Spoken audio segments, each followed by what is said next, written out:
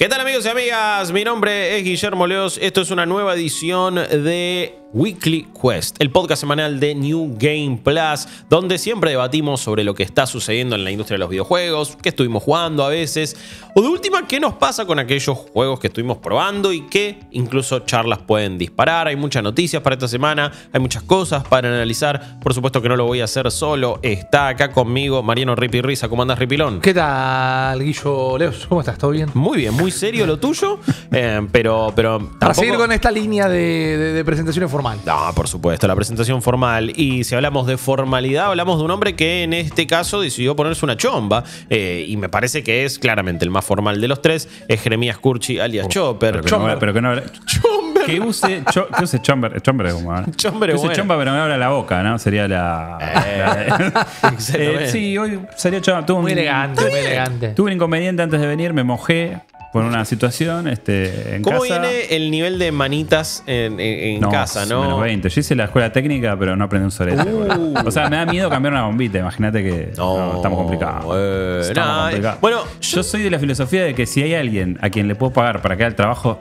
voy por ese lado. Totalmente. No está mal. Totalmente. No está mal. Aparte, ¿Para qué lo voy a romper yo y pagarlo dos veces cuando lo Claro, puedo pagar Aparte, una hoy sola por hoy vez? está bien visto porque es como que mm, es una figura eh, deconstruida. Ya no necesito ser. Claro.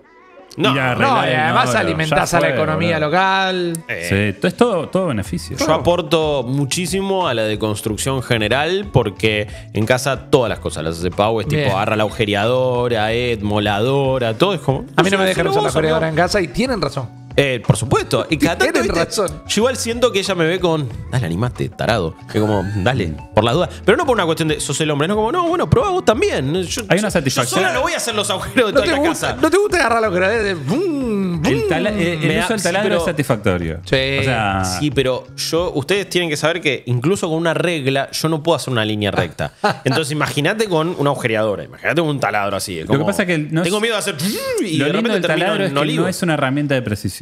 O sea, no requiere ese nivel de fineza. Tenés a los cirujanos de la soldadura Hay y gente- esas cosas. Si de repente enfilás para abajo, el agujero te queda y rompiste no, toda la no, pared. no, no. Boludo. pero eso no te va a pasar. No, no. Bueno. Si lo haces- se- le, das, le, das tres, le das tres gatillazos tin, tin, tin, y para, después le para das. más hacer la marquita. Hace falta un taladro simulator. O algo por Debe el estilo. haber. Eh, bueno, está el, Enviar- está el House Flipper, pero en- enviar puede ser, ¿eh? Me gusta. Por me eso. gusta. Ahora Sí. se van a venir streams. eh, Se vienen, exactamente. claro, sí, Eh, pero digo, como el Power Wash Simulator, Sí, obvio. uno, tenés tanto tiempo para hacer unos taladros. Después tenés el, el overkill que tiene la mira láser. Yo nunca la entendí, ¿viste? La, la mira láser en la Ah, herramienta. yo- Flaco, no, estás poneme, poneme una mira láser en el cuchillo y el tenedor. Me encanta. Me fascina todo lo que intervenga un láser.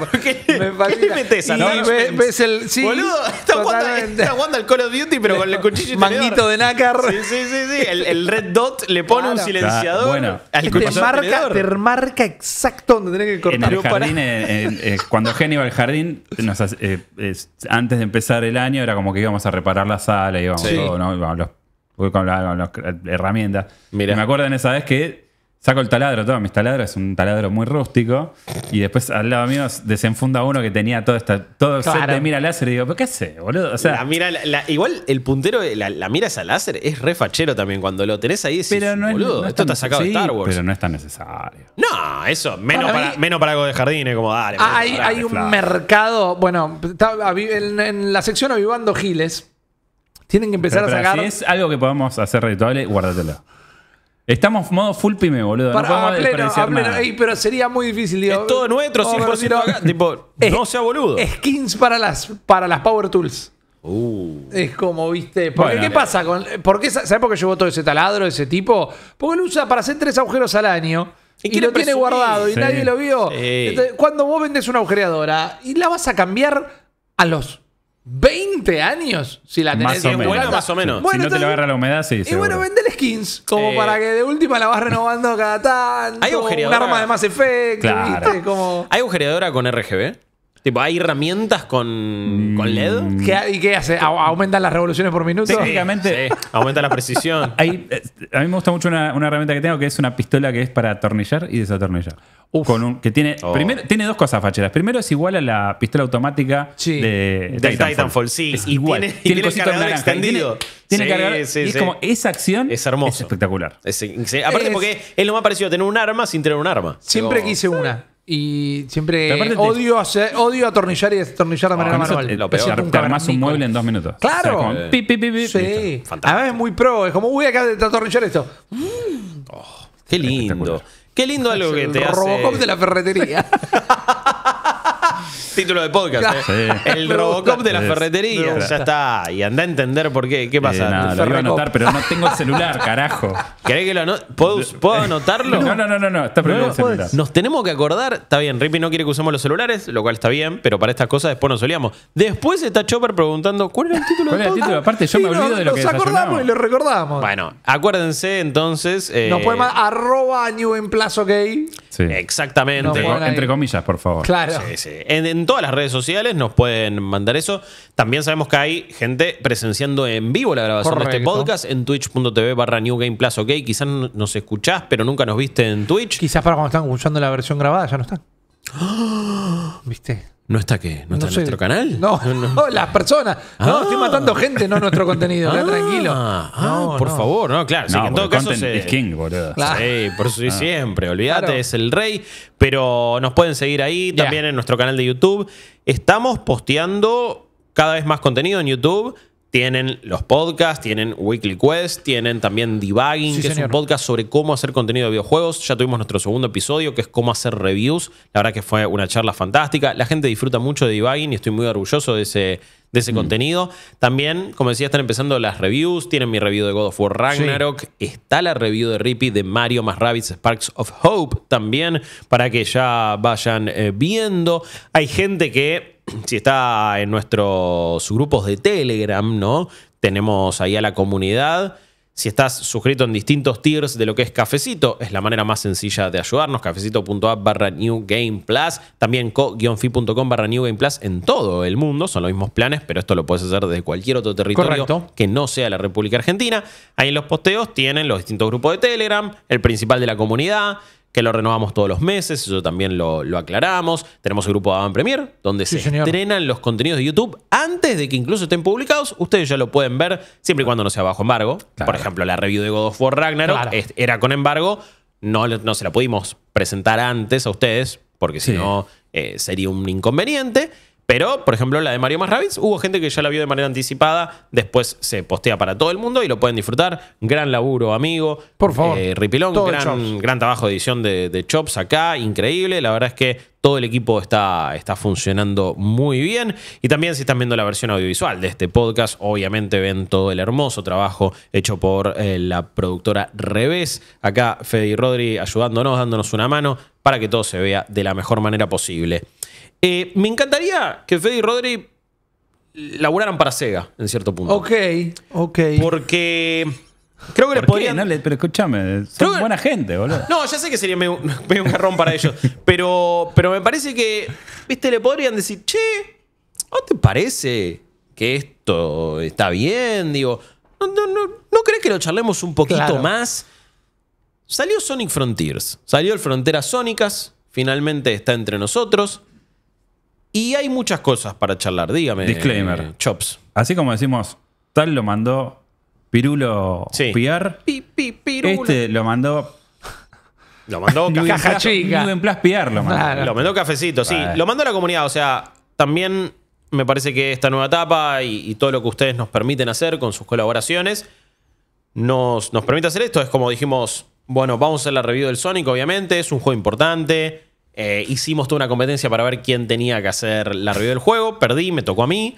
Perdiste vos, ganamos un formato. Exactamente. Ganó, Yo lo veo desde el punto de ga- vista. ganó la gente, la pasamos muy bien jugando Punch Out, un montón de cosas increíbles. Pronto más desafíos. Em, pero bueno, es un contenido que queríamos hacer para ustedes. Y Sí. como, lo mandaron, no importa, lo compramos. ¿Por qué? Porque la gente está bancando, porque me parece que es una inversión, porque es un contenido que quieren, y esos a veces son los gastos que hay que hacer, y está buenísimo, y me parece, al contrario, me, me da más orgullo Muy significativo, poder tener sí. esa libertad y ese apoyo de la gente que, que lo hayan mandado. quizás. Claro. Eh, pero bueno, fue por, por ahora quizás después llega y vemos qué hacemos. Pero no, no, en Xbox, ahí, tucu tucu, taca taca, lo empecé a jugar en Series X, lo transmití unas primeras tres horas. Y si bien después se vendrá la review y tampoco quiero detenerme a analizar el juego, me parece que es uno de los temas de la semana porque quizás nos pega más de este lado de creadores de contenido en, en base a videojuegos y conectando mucho con lo que hablamos en Debugging de cómo hacer reviews. Sí. Es un juego muy extraño para analizar. Es un juego que también despierta un montón de charlas porque cuando hablas de Sonic Frontiers puedes hablar de... ¿Qué estás contando? ¿Cuánto vas a tardar en decir que es malo? Eh, poco, porque voy a decir que es un juego que está fundamentalmente mal hecho. Ok. Fueron Y- unos 8 segundos. Y lo de las buenas intenciones lo vamos a discutir también porque es parte de la charla. Pero es sorprendente algunas cosas que suceden en un producto full price, AAA, de una publicadora y de un estudio como Sega. Pero me parece que te despierta charlas sobre el cariño por una franquicia. No diría tanto la nostalgia en este caso, pero un poquito juega. Lo que es la percepción usuario crítica, pero a la vez una cierta parte de la crítica que de repente celebra cosas fundamentalmente mal hechas. Bueno, pero se la jugó. Y es como, Ah, lo intentó. Ok, ok, eso te lo, te lo puedo llegar a tomar. Tampoco igual es algo tan experimental, Sonic Frontiers. ¿eh? Tipo, O sea, es como, eh, lo de se la jugó es relativo. Se la jugó con lo que son los juegos de Sonic, que venían siendo unas fórmulas muy similares hace muchísimo tiempo. Desde Sonic Adventure para acá, los Sonic 3D han sido prácticamente todos iguales. El Generation le mete esta cosita de bueno, tenés también lo tradicional. Con el tiempo es un juego que me gustó cada vez menos. Sonic Colors lo probé en el relanzamiento y no me gustó, honestamente. El único bueno fue Sonic Mania Sí. y que está hecho por un fan, por Christian Whitehead. Así que entiendo, sí, es algo distinto de Sonic. Pero hay un montón de pifies. Y eso me parece que genera una Bueno, charla. Y está ese argumento todo el tiempo de ojalá hubiera más juegos que eh, pareciera que están hechos por fans. Bueno, entonces e- es, Es rarísimo también. es darle. Vos querés llegar, salir de acá y llegar a la casa de al lado, pero pegás toda la vuelta manzana para decir los que no tendrían que seguir haciendo juegos de Sonic es el Team Sonic. En Sí. vez de decir, estaría más bueno que haya más juegos hechos por fans, eh, che, no le den más juegos de Sonic a ese equipo, que claramente hace 20 años que no los puede hacer. Sonic hoy, o sea, es para mí ocupa un lugar en la cultura popular sí. que. Atención. Guarda. Que está más para hacer el próximo juego de Peppa Pig que para hacer un juego de plataformas como el que quiere ser Frontiers. Entiendo, entiendo. O sea, Eh, es un producto que es tiene que ser para un público que es. Sonic ya trascendió el videojuego. Ya está, o sea, No, pero- está en ese lugar. O sea, mi hijo Gena estaba, ayer te estaba viendo, estaba completamente, no podía creer lo que estaba viendo. Mientras yo decía, estaba puteando por el pésimo diseño de la voz fight esa y cómo me trabé en un montón de cosas y perdí de una manera insólita. Muchas cosas son muy parecidas al Generation, que es el juego que él está terminando para hacer la previa a, a Frontiers. Se- la está reviviendo, Gena. Es un, Mal. es un No, capo. pero- Lo banco. Pero digo, capaz que está en ese lugar, en donde ya está, ya intentaron.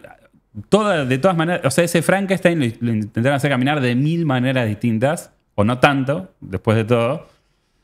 Pero yo no entiendo qué es, cuál es la función de seguir sacando este tipo de juegos eh, así. A ver, O sea, este igual es distinto. Y vamos a explicar algunas cosas mínimamente para, por, por- por si no lo vieron o no entraron en contexto. No, tampoco, insisto, no voy a hacer un análisis. Es, es un Sonic con una estructura diferente. A vos te largan en una zona abierta, hay varias zonas, no es la única, y vos ahí vas completando un montón de mini objetivos que te van dando llaves o corazones. Es como un gran colectatón que para mí nunca explica bien lo que necesitas, qué te da cada cosa. A veces las misiones te dan una llave, a veces te dan un corazón, a veces te dan una pelotita azul, a veces te dan anillo. Es como, es súper variado. A veces algunos objetivos secundarios ítems gallapón, Más o no menos, sabes lo que claro. te toca. a veces algunos ítems secundarios te van destrabando partes de un mapa que encima está todo como por sectores y glitcheado y no es cómodo y no es entendible. Entonces esta estructura de es un mundo abierto lineal, como habían dicho, no sé si esas son las palabras que utilizaría, pero la linealidad es, primero tengo que hacer esta zona, después esta otra. Básicamente son mundos grandes. Es como dos veces un mundo de Mario Odyssey, ponerle una cosa así Bueno, bastante grande eso. que para mí en su estructura y en un montón de cosas tiene mucho más de Mario Odyssey que de Breath of the Wild, por ejemplo. De Breath of the Wild le toma un par de cositas estéticas que me llaman la atención y es como, chicos, no pueden caretear que esto no es un homenaje. Pero terminás de hacer un puzzle y es, viste, como un pianito Ah, así. es que vos No, te bueno, estás confundiendo. No se lo chorearon a Breath of the Wild, se lo chorearon a Genshin Impact. Ah, pues, Claro. Claro. sí, más o Bueno, no. O por ahí estás Te digo, corriendo- Genshin Impact tuvo más para algunas cosas. pero a la vez la estructura de Genshin Impact y en algunas cosas era mucho más eh, similar. Porque Sonic Frontier después no es que vos lo estás jugando y dices, ah, no es Breath of the Wild. Pero hay un par de cosas estéticas, así como, no tenés que juntar las Seed, tenés que juntar los cocos. Claro. Las semillas de coco. Es como, ¡ah, el hijo de fruta! Ellos tienen el Big Mac, nosotros tenemos Claro. el Big Mac. El, el, el MacBig, sí, es como, bueno, qué sé yo. Pero, pero la realidad es que vos decís, ¿es un juego tipo Breath of? No, en realidad me hizo acordar mucho más a Mario Odyssey y eso es lo que más me gustó del juego. Vos vas corriendo por Sonic, eh, con, con Sonic por ahí y tenés algo para hacer todo el tiempo. Digo, en cada centímetro cuadrado hay un mini objetivo, hay un corazoncito que agarrar, hay una giradita que meterte, hay una rampa que hacer. Y eso está bueno.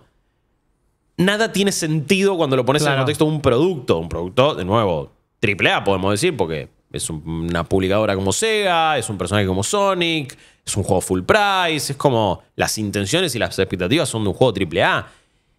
Y me choca un poco que, que, que haya una percepción de, bueno, pero le perdonamos todas estas cosas porque tuvo buenas intenciones. Y es como, ¿estamos diciendo eso porque no hay un gran juego de Sonic hace mil años, salvo por Sonic Mania? ¿O Para porque mí- realmente, tipo, esto es valorable? Es como, me, me- me quedan esas sensaciones raras y lo último, ya te dejo, no, me, me parece que está muy bien lo que dijiste vos, Chops. Y, y sé que hay, hay gente que va a decir, eh, pará, ¿cómo lo bardeás y le decís que es como el juego de Peppa Pig?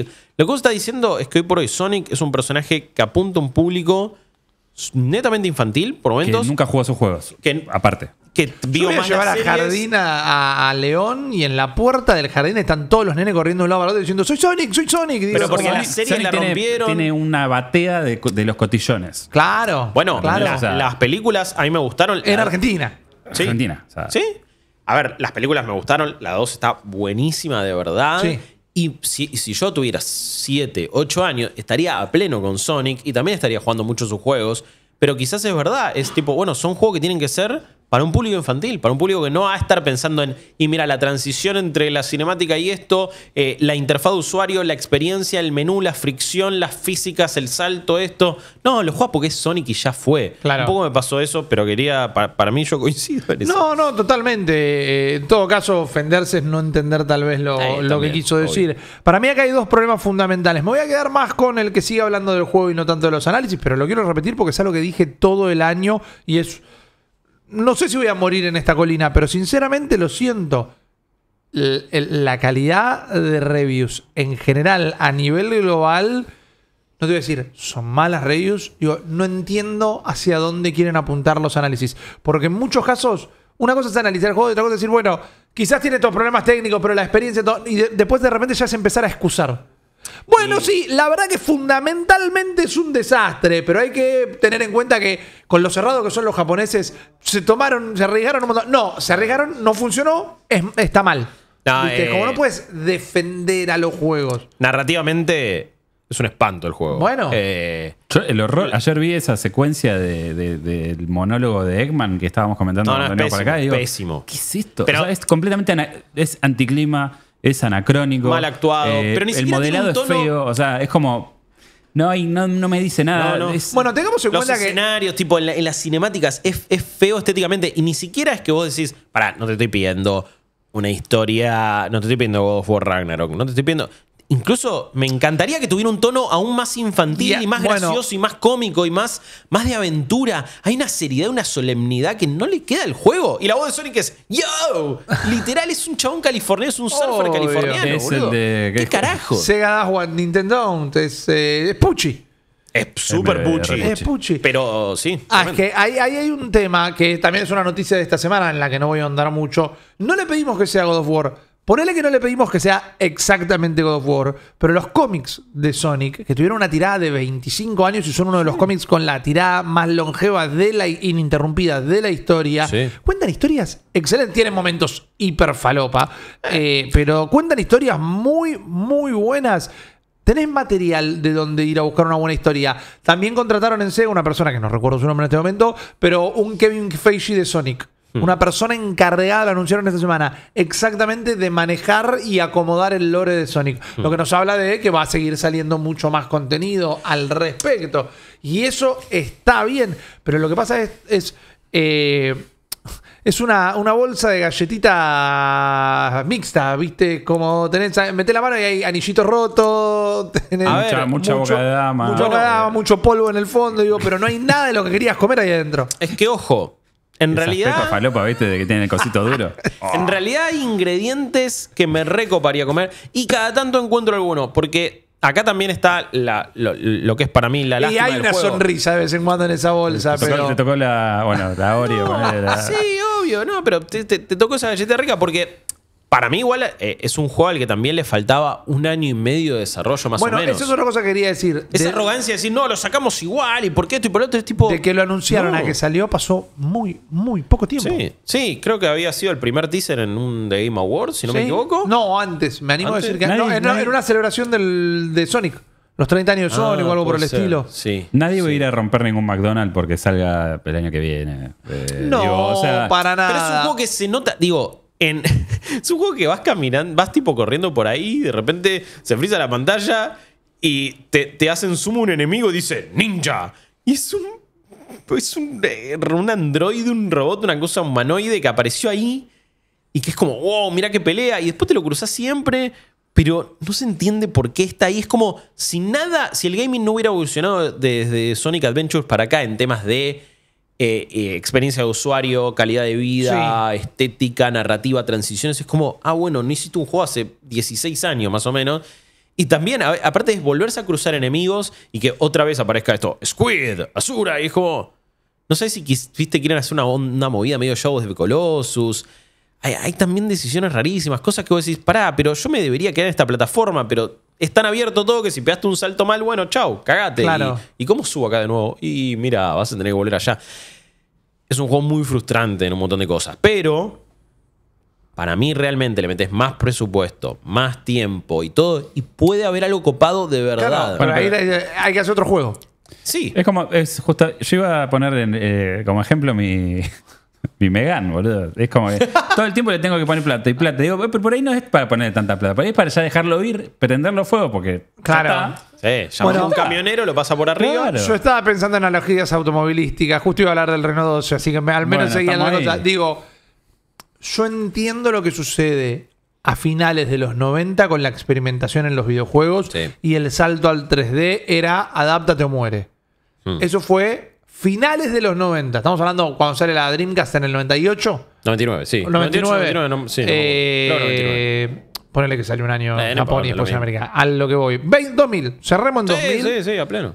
Pasaron más de 20 años. Sí. Entendé que Sonic no es para el 3D. Viste, como vos no vas a agarrar un Renault 12 para andar por las dunas. No. Es como, no, no funciona. No, no, no está hecho para eso. A ver. Ojo. Porque para mí me copa más el 3D, eh, el movimiento libre en 3D que lo. Porque el juego también tiene estos niveles del ciberespacio, le dijeron. Que son como los niveles tradicionales de los Sonic en 3D. Sí. Cada tanto te aparece uno que es side-scroller.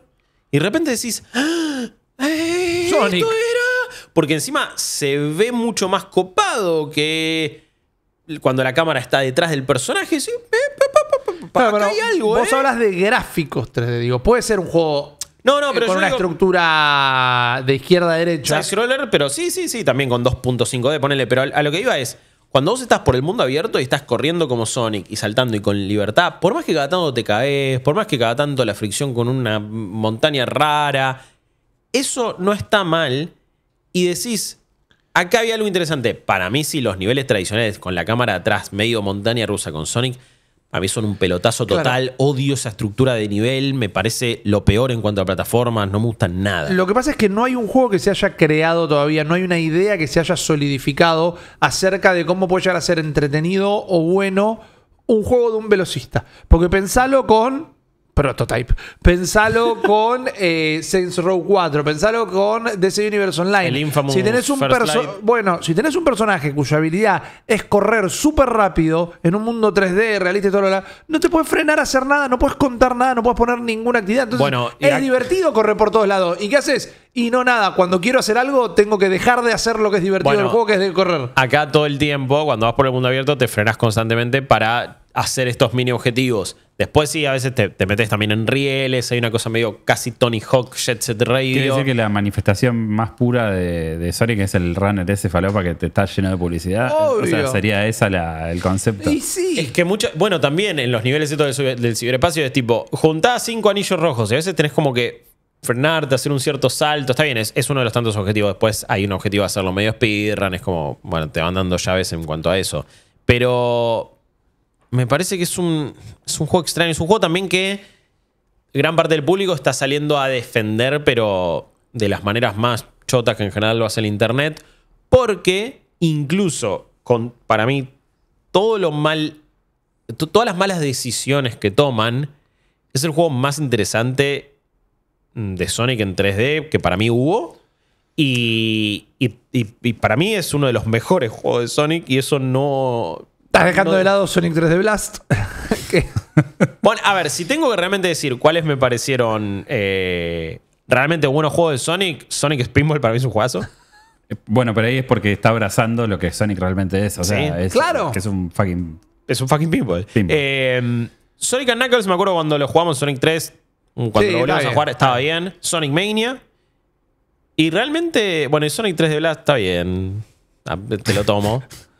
y para mí, Sonic Frontiers. Digo, y de todos los 3D de Sonic, salvo el 3 de Blast, para mí este termina siendo el mejor, incluso con todas las cosas raras que hace.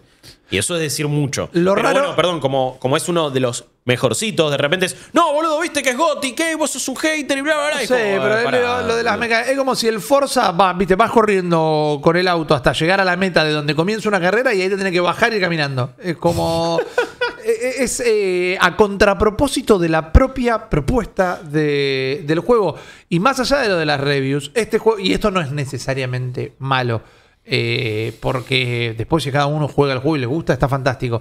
Pero toda la atracción de las pelis, de las series, de los niños y todo esto, va a hacer que este juego se venda bien. Va a y que el juego bien, se venda sí. bien, se va a traducir en que se van a seguir sin calentar en ponerle cabeza a un juego de Sonic. A ver, si soy un iluso, solo un iluso, em, diría que esas buenas ventas pueden terminar haciendo un Sonic Frontiers 2 que corrija muchas de las cosas En que el este mejor hace de los mal, casos.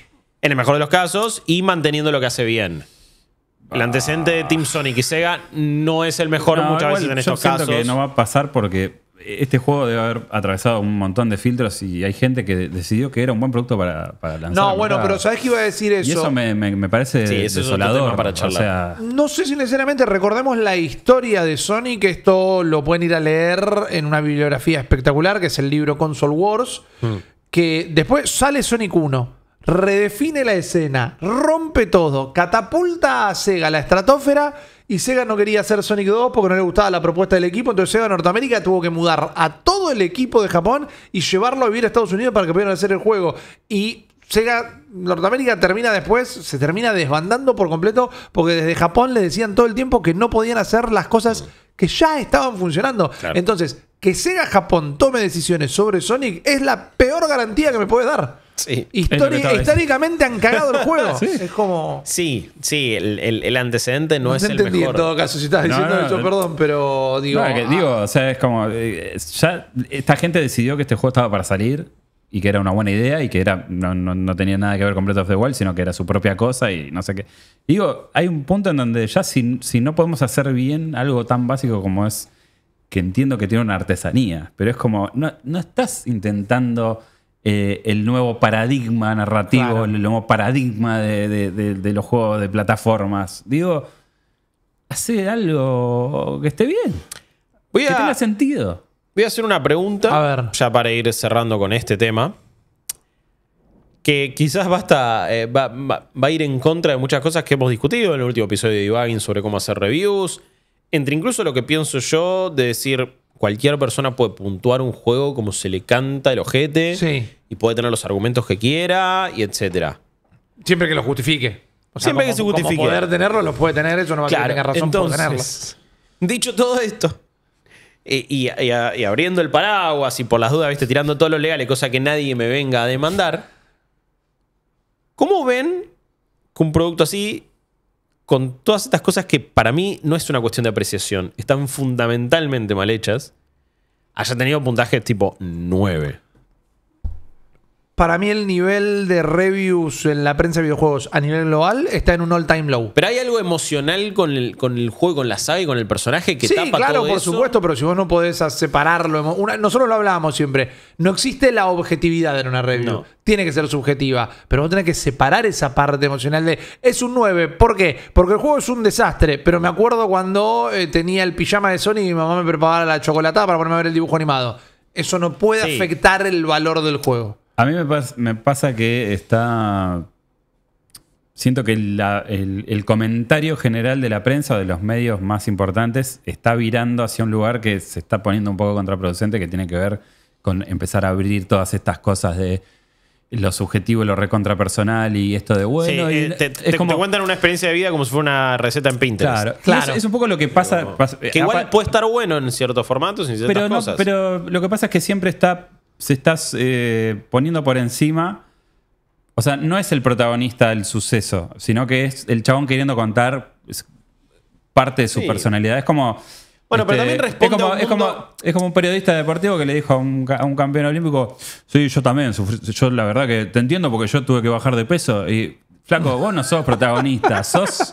Claro. ¿Me entendés? Y está pasando eso y creo que está bueno buscarle el costado para contar el juego de una manera distinta, pero Sí, eh, saca tu biografía después si querés contar tus vivencias los memorias. videojuegos. Está perfecto, pero Me una cosa no puede mezclarse con la otra. Yo te entiendo una- y te lo tomo, pero me parece que también responde a la tendencia de el, cualquier persona ya sabe muchísimo sobre el juego antes de su lanzamiento porque hay mil trailers y gameplays. Ok, ok, ahí tenés un tema súper interesante, sí. Y, y de- y es como, bueno, entonces que vos me cuentes cómo es el juego no me sirve tanto porque yo ya lo sé, entonces contame una historia. no, eh, está bien. Yo Pero que la historia que cuentes no tiene que afectar el puntaje El final del juego. eso, claro. Contame todo tu bagaje emocional. Puede ser, sí, sí, sí. pero que ese bagaje emocional no afecte contar el juego de otra manera no es que, o sea, no, no- no quiere decir que te busque, que busques una forma de decirme que eh, saltás con X y con el círculo te haces bolita No, y no, pegás, sino que está bueno buscarle un costado diferente, pero a veces es como mucha paja mental, mucha polera, mucha,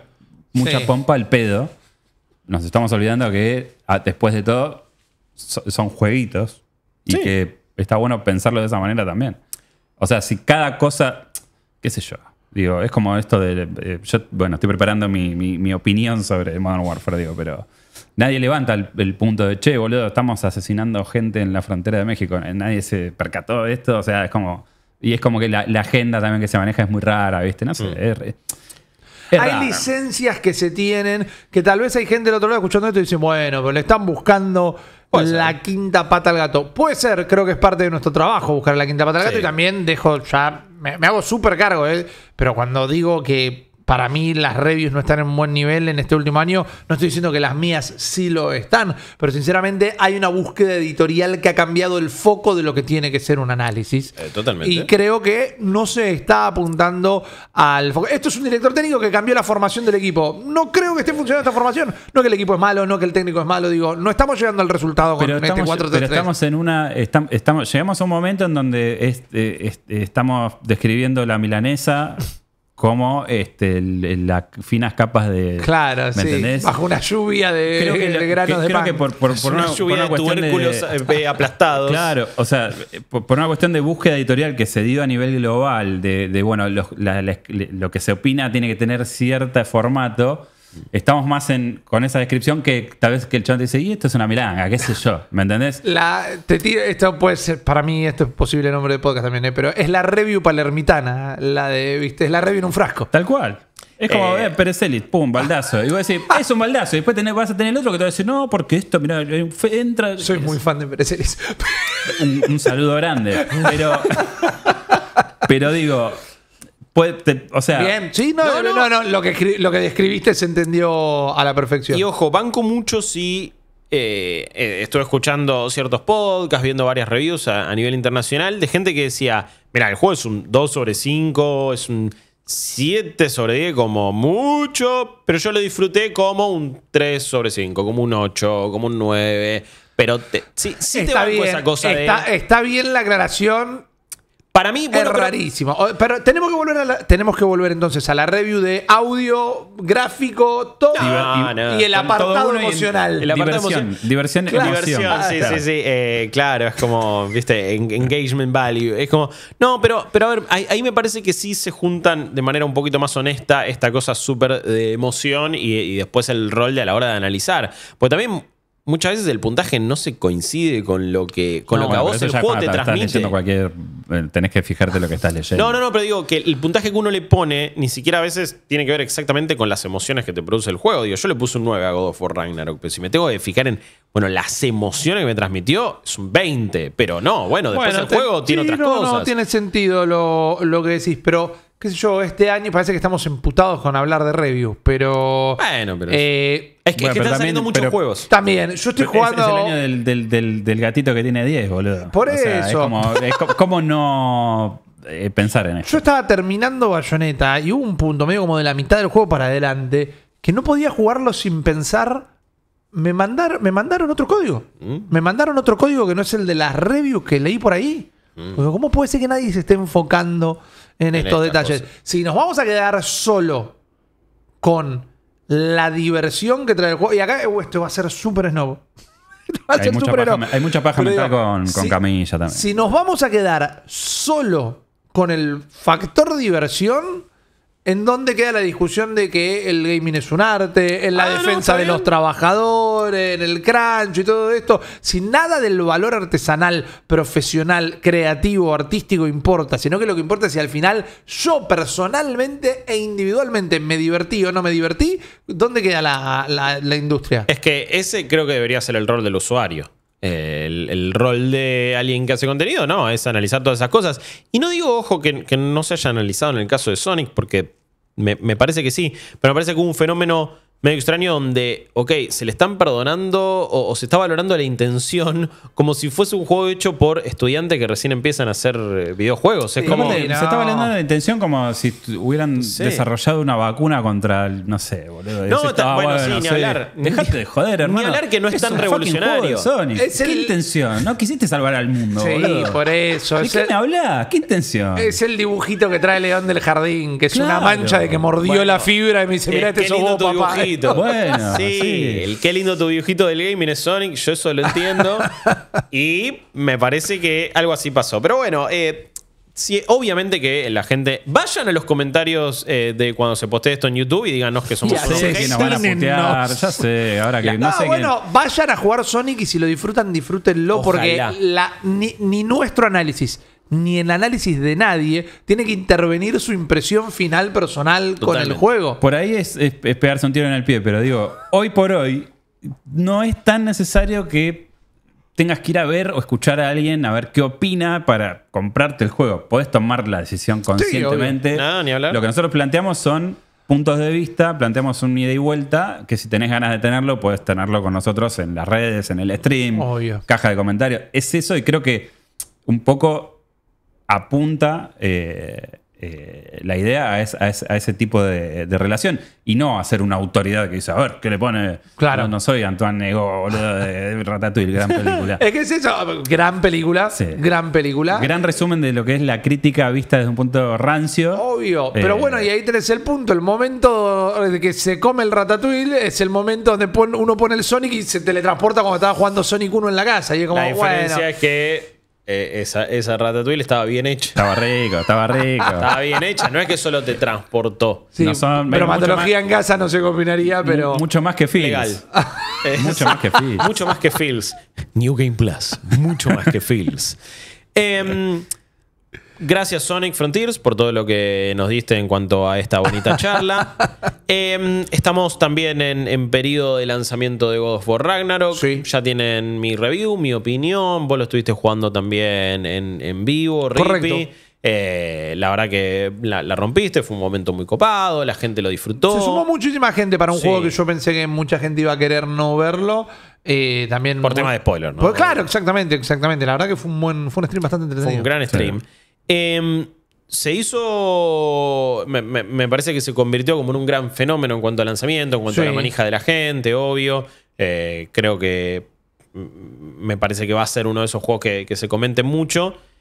Y me mata que, más allá de querer discutir el juego, viste que la principal pregunta es: ¿y este va a ser el GOTI? Claro. Es como, es como, viste, estás en la, parece que estás en la calle y es como, como un periodista deportivo le dice, ¿y estamos para campeones? Claro. ¿Estamos para campeones en Qatar? Acá tipo... ¿Salgo a te- gritar? Claro. Te, te, te dice, Cheillo, ¿es el Goti o no es el Goti? Y es como, digo, ¿qué sé yo, man? ¿Qué me importa? Es como, ¿por qué hay que discutir esto?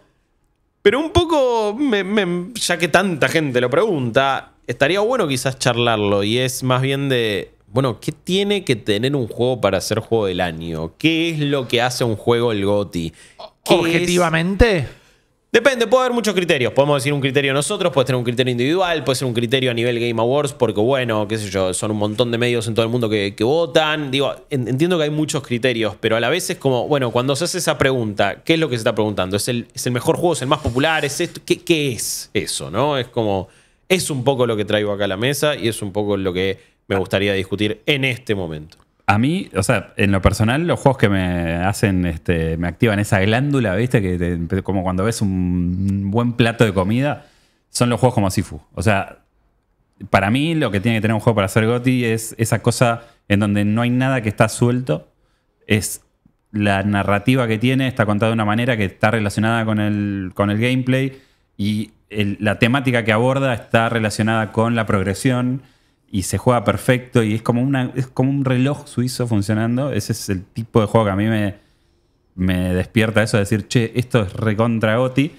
A la vez, siento que este God of War hace mucho de eso también. O sea, en esta nueva entrega tiene mucho de pegar más la jugabilidad con la narrativa eh, y tiene unos valores de producción que están muy arriba y tampoco tiene las asperezas que yo sí notaba en el God of War de 2018. Sí. Juego que fue juego del año injustamente. Yo creo que ahí era Red Dead Redemption 2. Ya lo saben, no los voy a aburrir con la misma discusión. Estoy de acuerdo. Eh, pero, pero acá estamos ante algo que es- ya es como una cosa más consumada. Claro. Sí, es verdad que lima un montón de asperezas del juego de 2018. Es eh, eh, indiscutible eso. Para mí tiene un problemita que no es del juego en sí, es un próximo acertijo de la industria para resolver. No quiero utilizar el término disonancia ludonarrativa porque no lo es en sí mismo. Pero hay un factor que lo vi en un par de juegos este año y es el choque negativo, el, el- el roce incómodo del factor soy un videojuego y el factor mi historia está atado a una urgencia debido a muerte. Porque Sí. es como, man, tenemos que buscar la manera de prevenir el fin del mundo. Pero primero usemos el poder de esta hacha de hielo para congelar el agua de este geyser, para poder usarlo para plataforma, para poder abrir un cofre que me da unas monedas. Es como, no va el, el diseño de misiones secundarias y toda la bola, que le agrega un nivel de contenido Hay todo un- estúpidamente divertido. Por cierto, hay toda un área secundaria que es del tamaño de, un- de uno de los niveles tradicionales y es completamente opcional. Por eso, está fantástico como producto existe. Y sobre todo porque God of War es uno de esos juegos donde querés estar más tiempo en el juego. ¿Qué, qué tengo que hacer? Tengo que ponerme una mochila, ir a entregar un pedido de comida con tal de estar un rato más con estos personajes y escuchar a Mimir como rebota contra la caja de, del Caballero del Zodíaco. Lo hago. Pero no estábamos impidiendo el fin del mundo. Digo, no, no, le voy a bajar el hacha de Leviatán a la cabeza a este juego. No. Siento que de repente hubo este año muchos temáticas de cuestión de Ah. vida o muerte, pero primero vamos a tirar estos dardos a este bar para destrabar una remera, ¿viste? Como- Yo creo que yo creo que eso te hace ruido, porque bueno, también más allá de que ya hablamos mil cosas del juego, porque en el anterior eso sí no estaba. Claro. En el anterior la misión era andar a tirar las cenizas de tu esposa y de la madre de Atreus. pasar, podías irte de vacaciones a Mar del Plata en el medio si querías. Claro, y no pasaba nada. Acá mismo me pasó, más allá de la urgencia de la review, era como Atreus me decía, bueno, y podemos ir a hacer un montón de cosas, ¿no? Porque es como, y tenemos que ir a hacer esto que es lo más importante del mundo. Pero si querés quedarte acá explorando, está todo bien. Es como, No, Claro. pendejo, no está todo faltó bien. ponerse a pescar y Claro, pero como, no, no, que, que- que va a estar todo bien, salame. Bueno, igual le di para adelante porque tenía que hacer la review y es un juego mucho más largo de lo que, de, de lo que era el anterior y de lo que parece.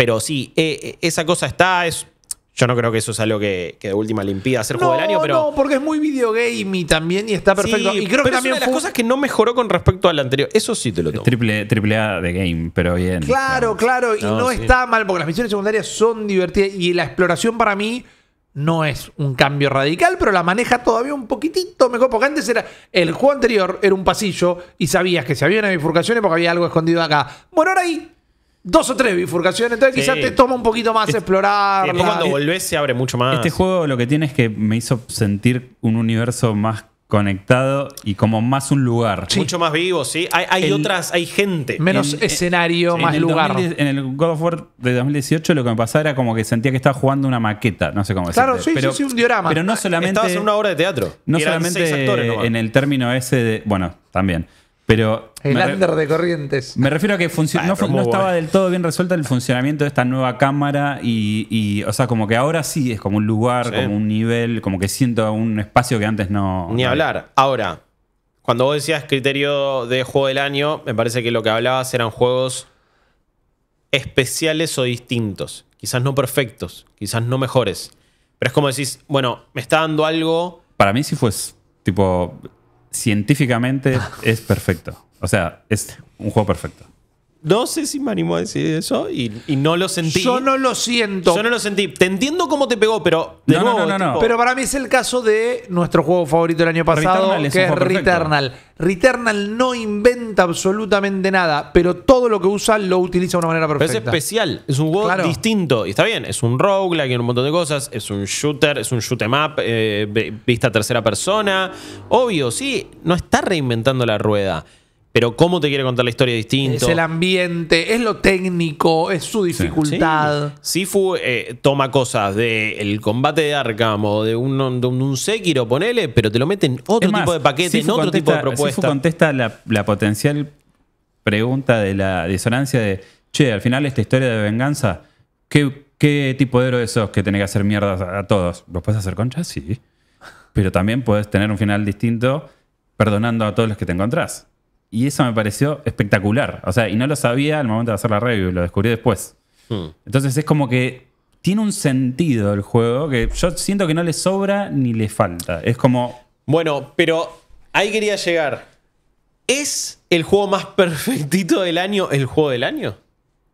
No porque O- hay otro apil, hay otros Bueno, es factores que, que entran en juego. para mí, ahí mi duda Y ahora es- quiero escuchar también el criterio de Rippy. No, ¿cuál es esa bifurcación? No, estamos buscando. No existen los premios que voy a decir, o sí, pero digo, una cosa es el, el premio Digital Foundry al juego más técnicamente perfecto, Sí. que sería un contenido que me encantaría ver, ¿no? Que midan exactamente para ver cuál es el mejor rendimiento. Arkham Knight es el más que Obvio. este año. Eh, y después es súper válido eh, la discusión que hemos tenido en 2020 por cuál era el juego del año y la, la- la puja entre The Last of Us Parte 2 como un juego que para mí también es técnicamente súper redondo contra el impacto social de Animal Crossing.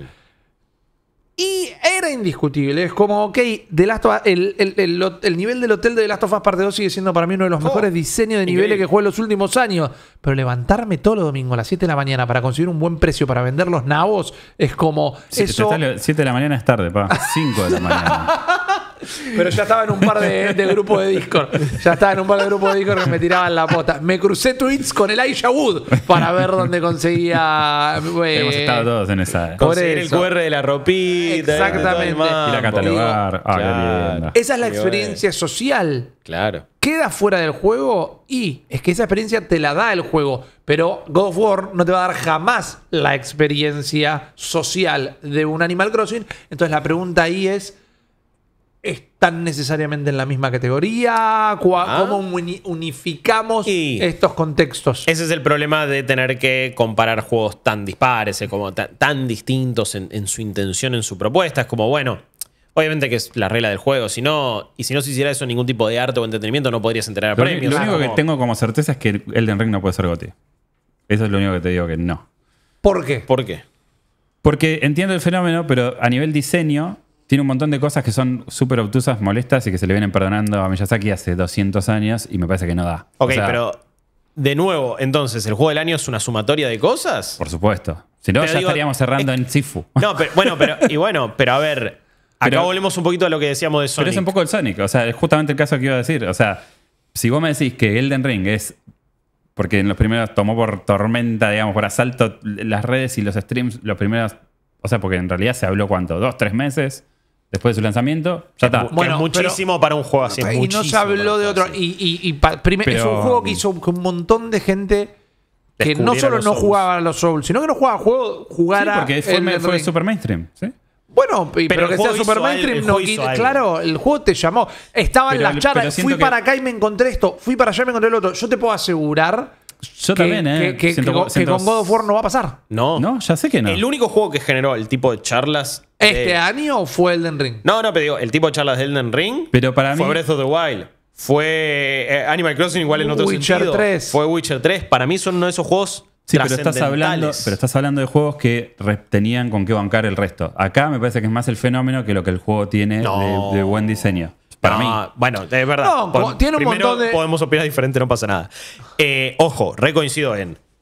Arrastra los pe- pecados del las padre. pelotudeces de interfaz que tiene, la estructura multiplayer. O sea, yo, yo hice toda una quest de 200 horas y no vi el final porque tenía que tocar una mancha azul que tenía al otro costado. Y era, ah, pero nunca jugaste No. un juego de Miyazaki. Pero chupala, boludo. No, no, eso esa es- cosa ¿qué es esa obtusa verga, de boludo? no te pongo un iconito de cómo seguir la quest por nada, No, una cuestión anda a cagar. estilística, para mí también es una boludez, eso te lo tomo. Y en este caso, encima, realmente te evita el disfrute, porque algunas cuestiones de menú te acostumbras, listo, qué sé yo, caca.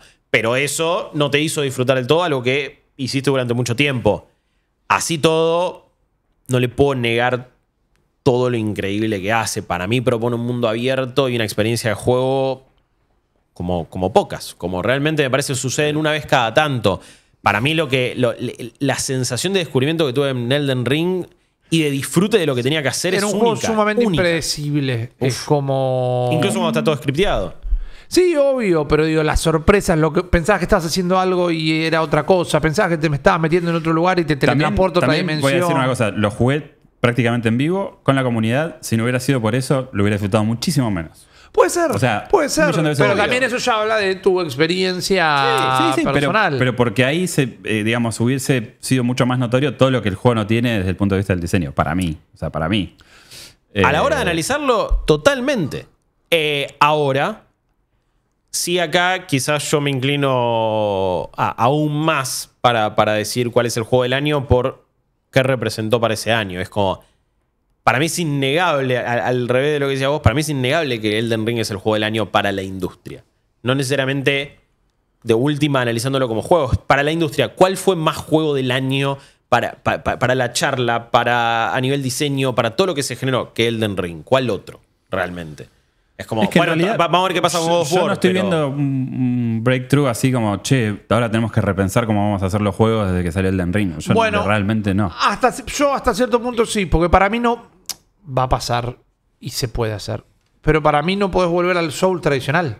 Ni hablar. Al soul pasillo lo, lo, lo, lo Se cagó, se, se cagó su propio género, Sí, no tengo dudas, pero digo, es un. Bueno, pero es- eso ya es llevar un género hacia adelante. Y para mí otra cosa que sí aporta Puede es no que- haber salido del todo no sé, bien, yo pero jugué a Bloodborne y me encantó. O sea, no, no, no, tampoco Y, pero Bloodborne quizás es un juego mucho más redondito perfecto que el Den Ring.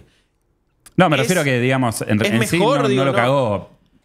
Pero. Pe- bueno, pero algo que para mí sí aporta es que.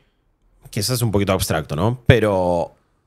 Es un juego que vendió prácticamente 20 millones de unidades. Es un éxito mainstream al nivel de un Call of Duty, a nivel de un FIFA, a nivel de un Estando en montón una de sola cosas. consola. Eh, no, no, eh, el Elden Ring. Elden Ring, Elden no, Ring no, multi- multiplataforma. Pues, estábamos hablando de de, Bloodborne. de Bloodborne, no, Sí. perdón. No, no, Bloodborne lo dio mucho menos. Pero digo, es un éxito súper masivo y no es, que, no es que de repente te hizo la experiencia mucho más fácil o mucho más cosas. No, pero sí le demostró o, le puede dar seguridad a un montón de desarrolladores y publicadores de no subestimes tanto al usuario. Porque mira el éxito que se puede tener incluso con estas cosas súper obtusas. Obviamente que me parece que llegamos a la culminación de mucha gente entendiendo que los Souls son una experiencia comunitaria y tenés que hablar y tenés que preguntar y tenés que esto y aquello. Pero me parece que también tiene un tutorial escondido fantástico y, y tremendo a nivel game design que a mucha gente le explicó también cómo jugarlo. Pero a la vez te decía, bueno, y si vos giraste y fuiste para, para abajo en vez de para arriba, qué sé yo con qué te vas a encontrar. Y en la misma libertad que, que- que dio Breath of the Wild. Obviamente que sin Breath of the Wild para mí este juego ni existe. Como no, me sí te puedo que- poner como parámetro que si un juego llega a tener un aspecto social por fuera del mismo, eso siempre se tiene que sumar como un plus. Eh, Pasó con Elden Ring, pasó con Animal Crossing. Debería haber pasado con Red Dead Redemption, que también tenías un montón de gente todo el tiempo comunicándose, hablando, viendo, che, anda acá, para acá, anda para allá, Sí, hace esto. Pero se habló más de, uh, qué paja abrir la alacena. y en ese momento. O también War tenía otras cosas tipo el diseño de las misiones que eran Bueno, como- pero en ese entonces, aun cuando yo pienso que no tendría que haber sido juego del año, God of War presenta un cambio, una maduración muy importante sobre la saga madre. Este no. Eh, ah, no, este, bueno, para mí por esto no va, por esa cosa no va a terminar siendo juego del año realmente. En algo como de Game Awards.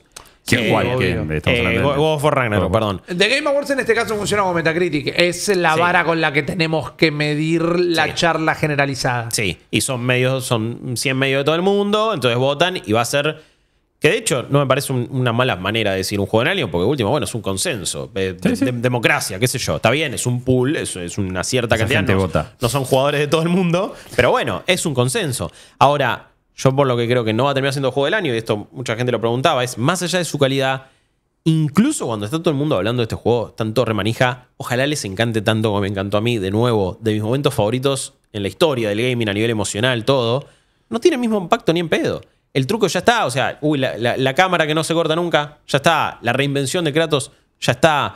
Eh, el, el cambio en la cámara, en la jugabilidad, ya está, ya Con pasó. todo lo está bien- mil veces mejor que antes incluso, ¿eh? Y está, Pero ya pasó. está muy bien escrito. Uh, aún mejor que el, de, el Eh, anterior. Cuando lo arranqué, ayer cuando lo arranqué de nuevo, había visto cosas, nosotros con los chicos ya lo habíamos hablado, yo creo que ya conté acá en el podcast que me iba anotando frases que decían los personajes que me gustan.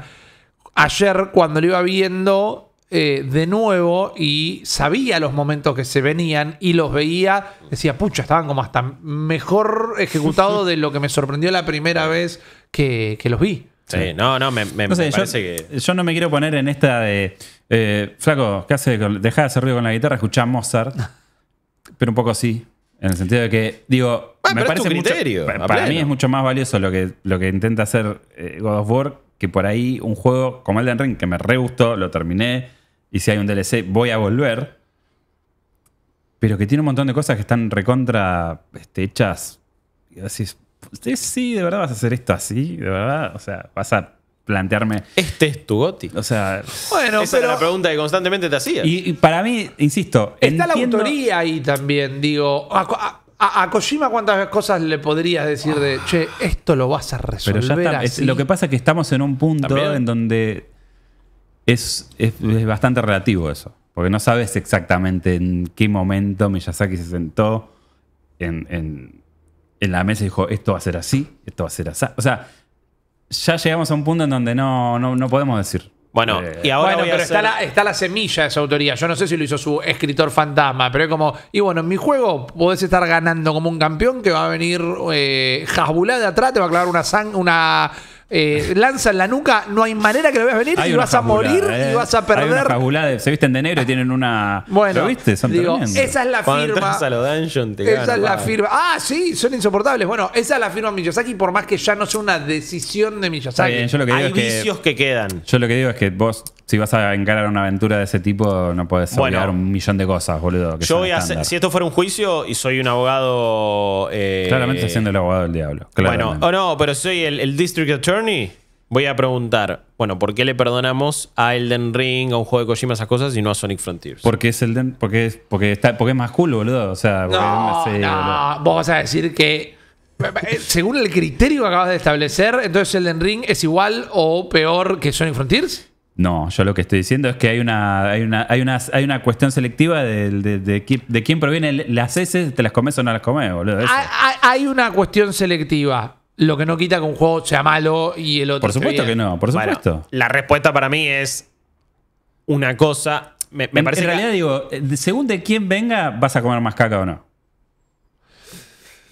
Y, pero así no funciona lo- lo- los cultos de personalidad, así no funcionan los. los- Bueno, los- pero todo lo que está diciendo es más a mi favor al, al- al argumento que estoy tratando de Eh, establecer. Tenés razón, a la vez me parece que, desde, desde mi lado por lo menos, ¿por qué no le perdono ciertas cosas a Sonic? Porque para mí el, el producto final o la experiencia o lo que incluso me quiere transmitir no termina siendo tan bueno como para poder perdonarle esas cosas.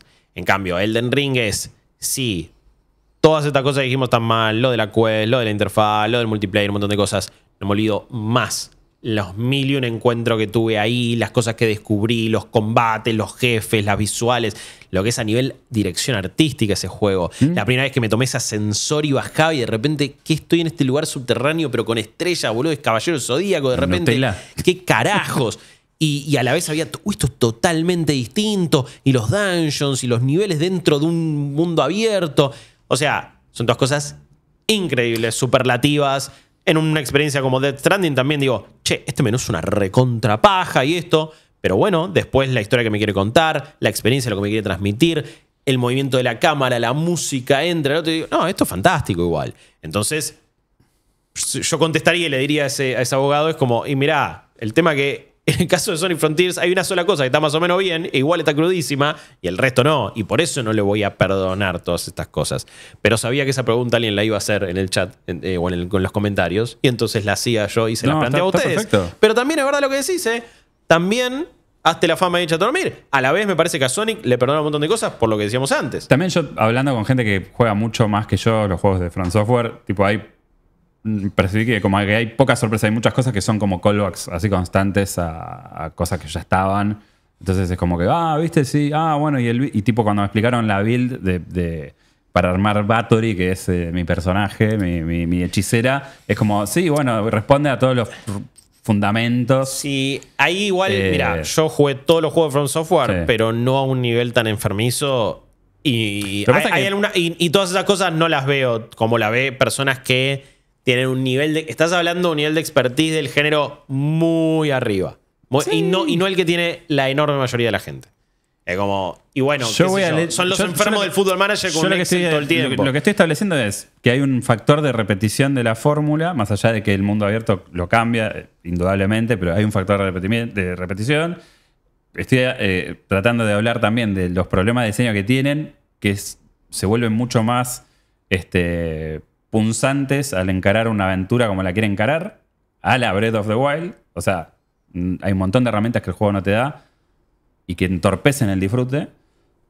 O sea, estoy tratando de argumentarlo porque para mí, cuando vas a hablar del juego del año, esas cosas para mí deberían estar mínimamente resueltas. Mínimamente resueltas. Después viene lo otro. Sí, ese juego del que se habló, una sensación. En mi vida adulta, con dos hijos, no hay muchos juegos a los que le pongas Mal. 140 horas. Sí. Pero bueno. El trabajo te lo permitió también. Para, claro, para mí, digo. O sea, para mí esas cosas tendrían que estar más o menos encaradas de una Bueno, manera. pero ¿por qué lo jugaste todo en vivo? Porque la gente lo seguía pidiendo, porque funciona. Y si funciona a ese nivel, y si tenías una audiencia constante que lo único que quería hacerte era ver jugar Elden Ring, ¿eso no habla de cómo es el juego del año? No necesariamente.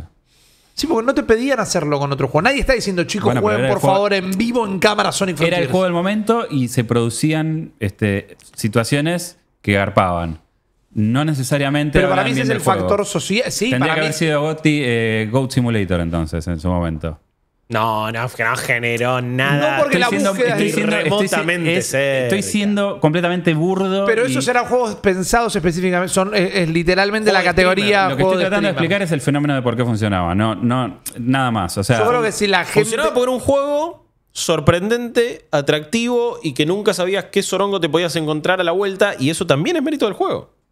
Y de- no es que es vistoso como algunos shooters o algunas Sí. otras cosas son a nivel espectador, que tampoco están pensados necesariamente para esos, pero me parece que igual también aparte cuando estás hablando de le cosas... putear. O sea, básicamente que Sí, me pero podemos estar puteando con un montón de otros juegos y no ser atractivo. eh, tipo- Nadie pidió que sigamos jugando entero sin parar Horizon No. o, o Halo Infinite, la campaña, no el multiplayer, eh, o cosas por el estilo. Para mí, ese nivel de clamor del público habla un poco del efecto que Sí. tiene en el año y en la industria y en los jugadores. Incluso hay gente que lo jugó, te quería verlo jugar, más allá de que fueras vos. Obviamente siempre hay una pata que es, bueno, nos quieren ver a, nos- a nosotros o a su streamer o creador de contenido favorito, porque son esas personas, eso está claro y te van a hacer el aguante por eso, pero es una experiencia atractiva de ver. Porque de nuevo, también es un juego que sí, en su filosofía de dise- de diseño, se presta para la cuestión comunitaria. Porque también se, po- se podría, podría pensar uno, bueno, ¿por qué no te dicen un montón de cosas por qué no hay un montón de cosas explícitas? ¿Es por capricho o es porque justamente tenés que hacerlo con otras personas, incluso cuando no es un juego principalmente multiplayer, más allá de sus, sus facetas multiplayer? Es como, bueno, te pide que tengas una conversación, te pide que lo charles con, con el resto y fijarte, ir a internet, te- ver un mensaje en un chat, qué sé yo. Que de nuevo también es criticable, digo, no, no digo que digas, no sé si eso lo perdona del todo, quizás esa es la búsqueda. ¿Qué pasa? Te estás No, no. aguantando un No, no, golpe. No, No, me acordé de los genios narrativos de Destiny que te mandaban a internet. Bueno, es- Ah. lo vi- la vieron antes.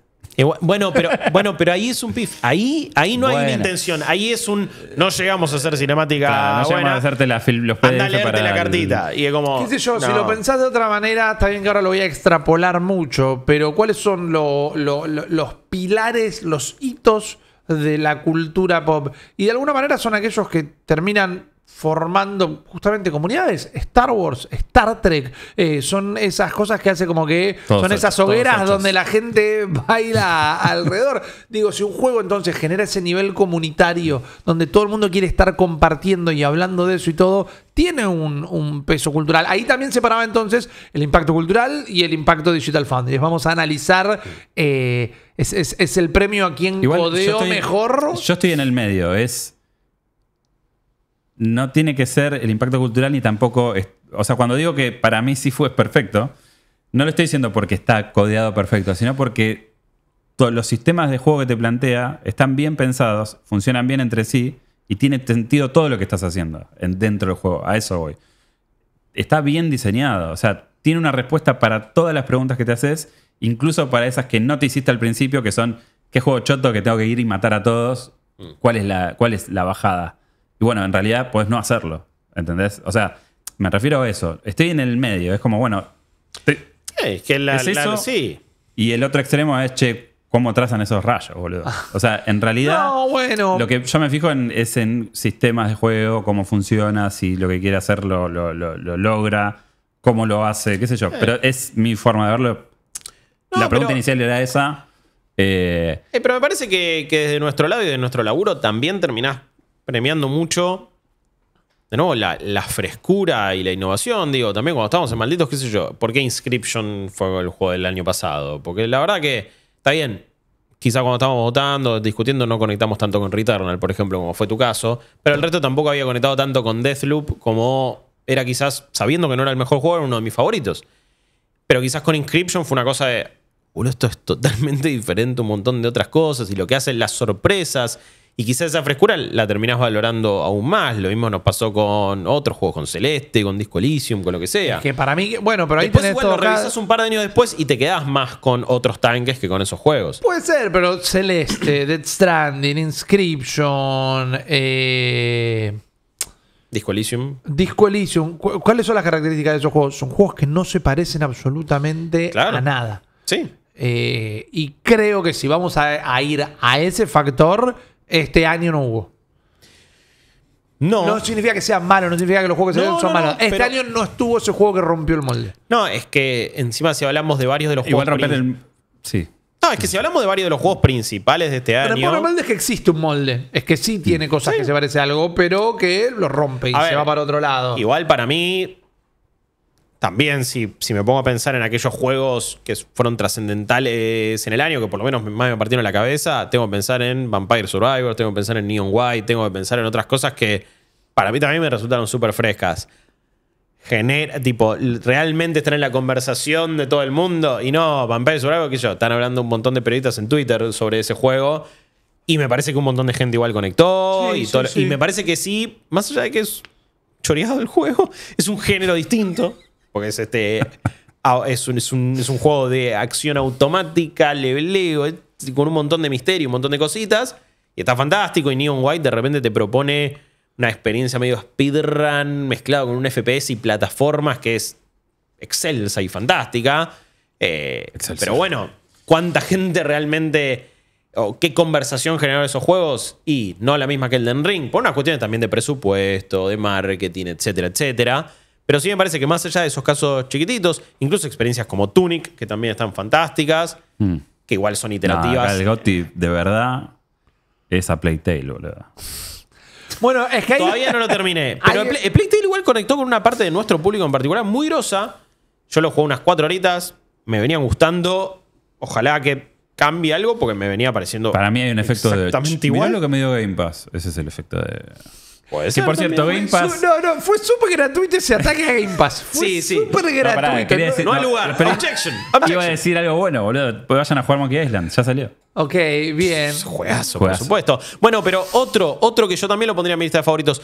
Estamos en un año también de juegos eh, iterativos, de secuelas, de, de- de juegos que construyeron. eh, Elden Ring también. Y bueno, es una secuela de todo lo que hizo From Software en su historia. Para mí acá La nadie está- culminación de eso. Nadie está queriendo blanquear, y no digo solo acá, digo en el año, en este 2022. Nadie está queriendo blanquear que pese a un par de lanzamientos grosos, pese a un par de lanzamientos grosos, es el primer año en un par de años que en líneas generales fue flojo.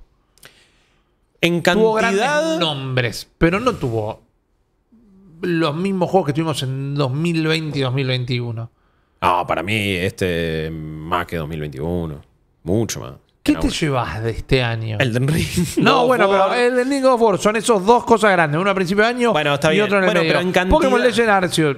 Nadie se acuerda que salió. Literalmente la gente piensa que fue un juego que salió Horizon Forbidden West también. Nadie se acuerda que existió. Horizon Forbidden West. Bueno, no sé si en realidad es verdad que. la- el- bueno, el año pasado hubo más juegos únicos, quizás.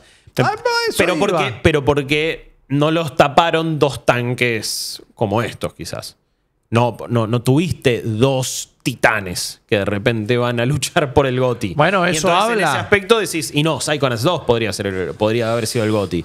No, tal y tal y tal.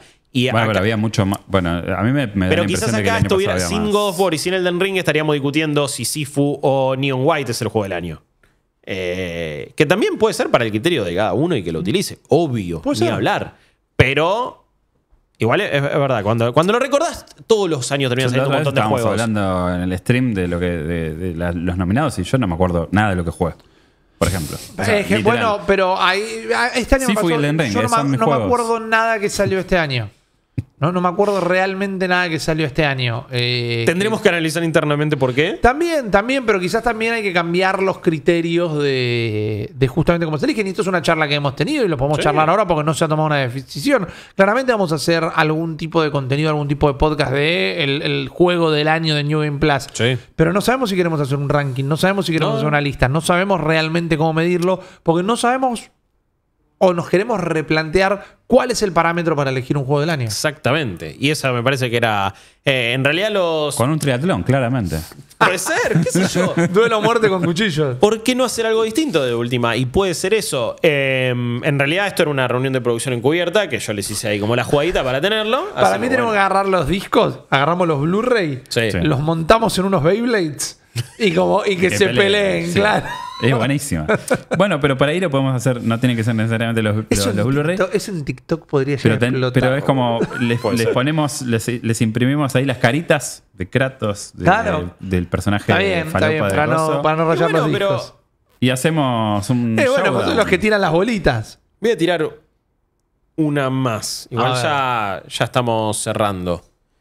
Eh, ¿Qué onda el clamor popular? Más allá de la trascendencia, digo, en este tipo de decisiones. Porque muchas veces termina El pasando. People Choice Award. Algo así. Digo. No sé si me parece un criterio a veces tan errado. Lo- los Grammys usan esto un par de veces. Ajá. A veces terminan tirando cualquiera.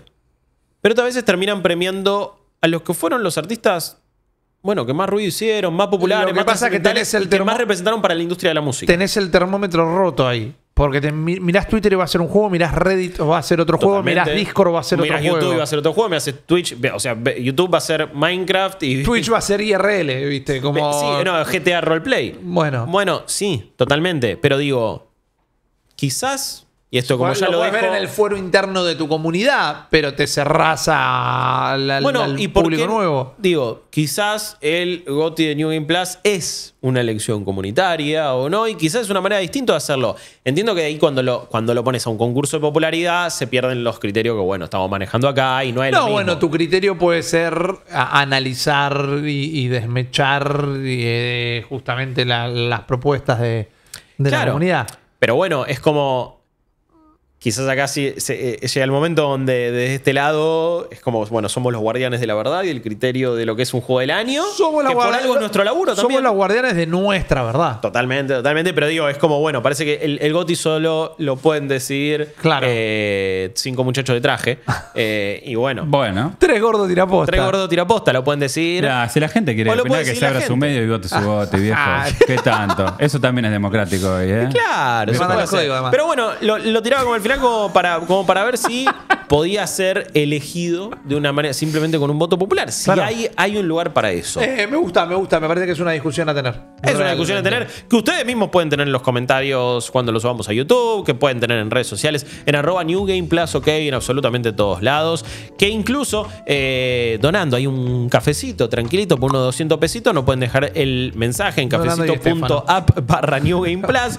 Ahí nos pueden dejar un mensaje de última. Recuerden que tienen los planes de suscripción Rare, Epic y Legendary. Arrancan en los 900 pesitos, después 1300, después 1500. Es sumamente gauchito. Si nos estás escuchando de todo el mundo, co-fi.com barra New Game Plus también, con lo mismo, pero adaptado a la rúcula. Eh, así que. Los crocantes. Los crocantes Los de crocantes. Crocants. eh, sí, los Green Goblins ahí. Eh, pero, pero bueno, todo eso nos ayuda a seguir haciendo este trabajo. Y los planes de suscripción le dan acceso también al grupo de Telegram, acceso anticipado a los contenidos, sorteos futuros también exclusivos que va a haber, más chance para un montón de cosas.